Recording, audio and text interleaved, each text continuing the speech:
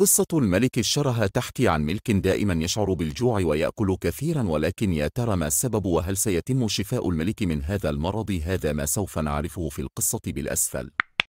ذات مرة كان هناك ملك يحكم إحدى الممالك وفي يوم ما فتح الملك فمه عندما كان في نوم عميق في الليل فدخل شبح جسم الملك من خلال فمه. وفي اليوم التالي استيقظ في الصباح وكان يشعر بالجوع الشديد وأعد الطهاة الوجبات للملك المعتاد وبمجرد أن قدموا الطعام أكل الملك كل الطعام الذي كان هناك لكن ذلك الطعام لم يكن كافيا للملك. حينها فوجئ الطهاة وتم البدء في طهي أنواع مختلفة من الوجبات وبعدها جلبوا الحراس ثمارا مختلفة وأعطوها للملك وعندما وضع الطهاة جميع المواد الغذائية أمام الملك كان يأكلها في لمح البصر. وبعد تناول الطعام الذي يكفي لعشرين شخصا حينها كان الملك أنتهي من الإفطار وهذا الجوع لدى الملك أصبح مشكلة كبيرة. فقام الأطباء بفحص الملك وقالوا إنه ليس لديه أي مرض بل كان طبيعيا جدا وذهب الحراس إلى القرى الأخرى لجمع الطعام للملك حتى الملك كان يواجه مشكلة كبيرة بسبب جوعه الكبير. ولاحظ أن الحراس لم يتمكنوا من جمع الطعام الكفي له. ففكر الملك في زيارة المشايخ المحلية الواحدة تلو الأخرى في المملكة. ذهب إلى كل زعيم محلي وبقي هناك لمدة أسبوع أو أسبوعين كضيف لذلك أصبح عبئا يصعب تحمله بالنسبة لهؤلاء الزعماء المحليين فأخذوا بالتذمر من ذلك. وفي أحد الأيام عاد شاب كان قد أكمل دراسته خارج المملكة إلى موطنة الأصلي وبعدها ذهب إلى منزل أحد الزعماء المحليين في المملكة كضيف ليبقى عنده. وعندما علم الناس عن عودته جاءوا لرؤيته لكي يتحدثوا معه وحدثهم الشاب عن عجائب عدة وكذلك أشياء مضحكة وجعل الجميع يضحكون لكن الشاب لم يرى الابتسامة على الزعيم ففكر في الأمر وقال له تبدو قلقا بعض الشيء هل يوجد مشكلة ما وهل يمكنني أن أساعدك؟ فقال له ذلك الزعيم نعم لدي مشكلة كبيرة. تلقيت رسالة مفادها أن ملاكنا سيأتي إلى منزلي كضيف في هذا المساء. ثم شرح عن الطعام الذي كان عليه أن يقدمه للملك عند سماع ذلك. حينها فكر الشاب لفترة من الوقت ثم قال سأحل مشكلتك وأخلصك من جوع الملك ولكن عليك على ما أقوله لك. وافق الزعيم على ذلك وبالفعل جاء الملك إلى منزل للزعيم في المساء. وبمجرد وصوله إلى هناك راح يصيح ويقول أين الغداء؟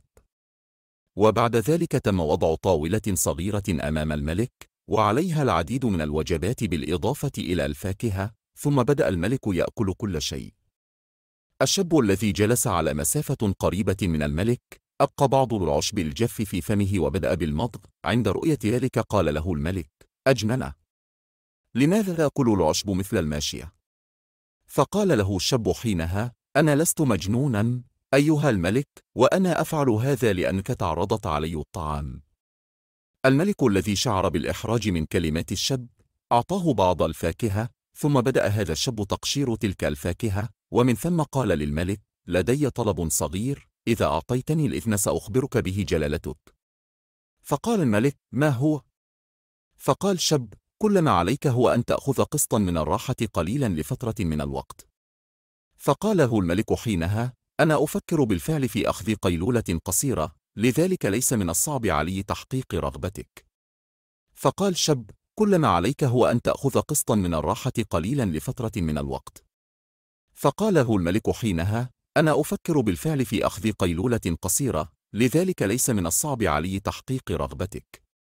ولأنه كان متعبا جدا من الرحلة الطويلة نام الملك على الفور وعندما كان في نوم عميق أمر الشاب خدام الزعيم بربط يد الملك وساقيه بإحكام ثم طلب الشاب من الطغاة بعد ذلك إعداد مختلف الوجبات والحلويات. بعد فترة من الوقت استيقظ الملك ووجد أنه مربوط بالحبال وفي ذلك الوقت كان الملك يشعر بالجوع الشديد. احتفظ الشاب بالعديد من الوجبات الغذائية والحلويات والكري والزبدة والسم وجلس بعيدا عن الملك. حين رأى الملك ذلك زاد جوعه كثيرا فاصلة حيث أن تلك الوجبات تبدو شهية وفي الوقت نفسه.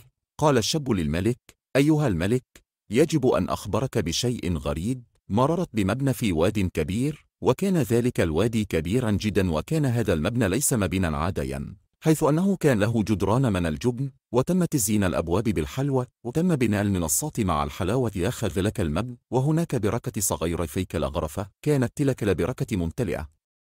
بعصائر الفاكهة وتحيط البركة بالفاكهة اللذيذة.